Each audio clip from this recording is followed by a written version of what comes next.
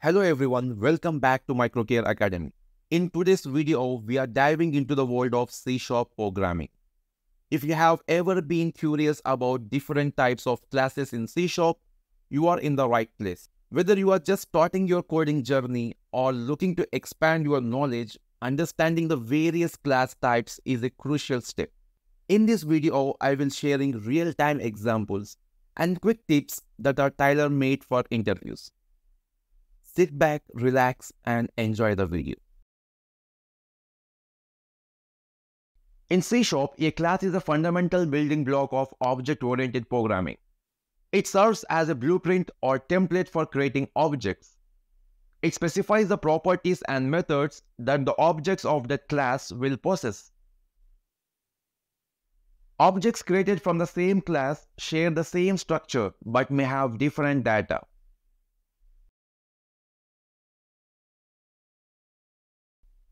The static keyword in C Sharp language is used to declare static classes and static class members. In C Sharp, when we declare a class as static, we cannot create objects of the class.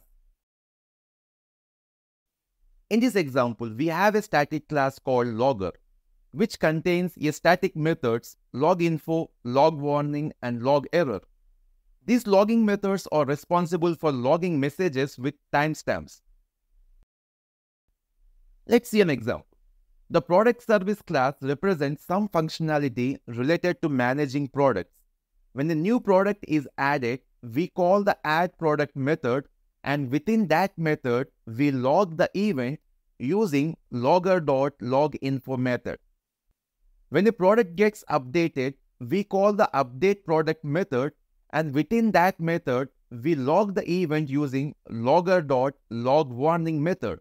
The advantage of using a static class for logging is that we don't need to create an instance of logger class every time we want to log a message. We can directly access the logging methods through the static class.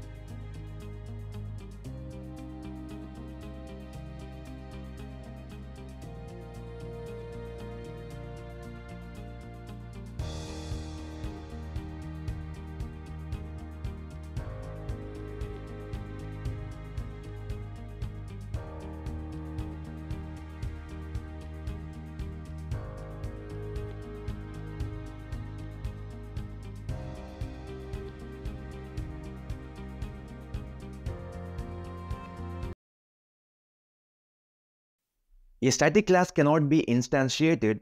All its members must be accessible through the class itself without need an instance of the class. A static class can only contain static members. Static members include static methods, static properties, and static fields. The abstract keyword in C Sharp language is used to declare abstract classes and abstract methods. In C Sharp, we cannot create objects of an abstract class.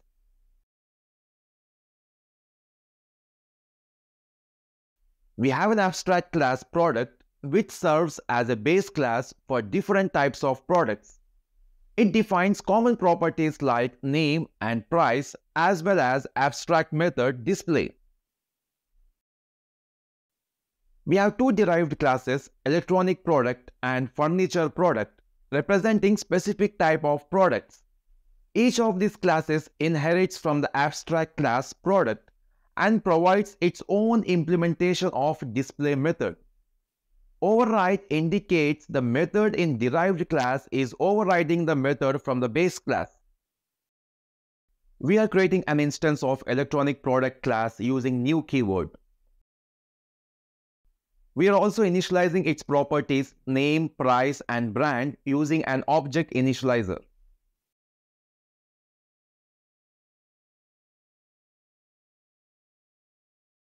Similarly, create an instance of furniture product class and initialize its properties name, price, and material.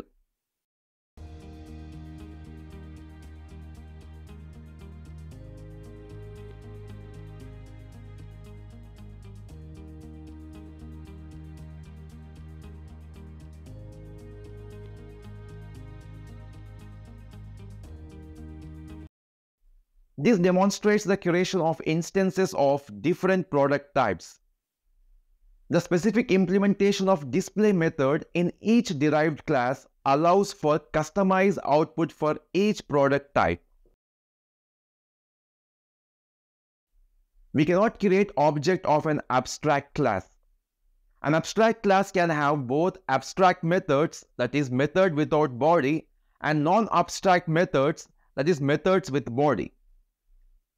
Unlike the C-sharp inheritance, we cannot use virtual with abstract methods of the base class. This is because an abstract class is implicitly virtual. We can use abstract class only as a base class. This is why abstract class cannot be sealed. In C Sharp, when we don't want a class to be inherited by another class, we can declare the class as a sealed class. A sealed class cannot have a derived class. The sealed keyword is used to create a sealed class.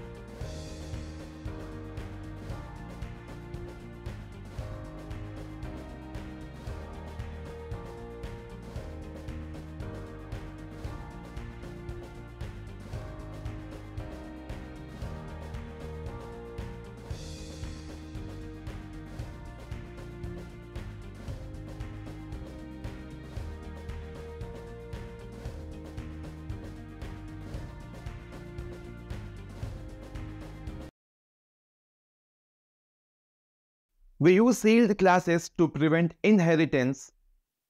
As we cannot inherit from a sealed class, the methods in the sealed class cannot be manipulated from other classes. It helps us to prevent security issues. Partial classes in C Sharp allows you to split the definition of a class into multiple source code files. Each part of the class is defined in a separate file but at compile time, all parts are combined into a single class. The partial keyword is used to create a partial class.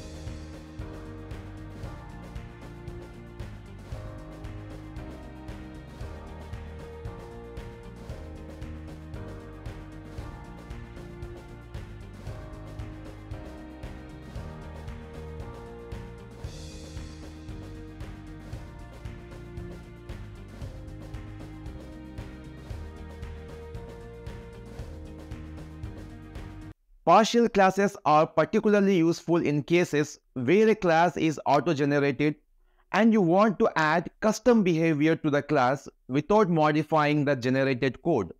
It also helps in organizing code and promoting the separation of concern. Thanks for watching. If you like this video, like and subscribe.